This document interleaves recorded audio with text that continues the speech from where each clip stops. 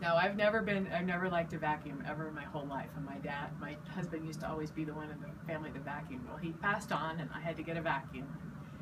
Didn't really know what to do, and didn't really like the idea of getting one. But came in and tried this out, and took it home, and it is like a member of the family. Absolutely love it. Um, I vacuum like four times a day. Well, not four times a day, four times a week.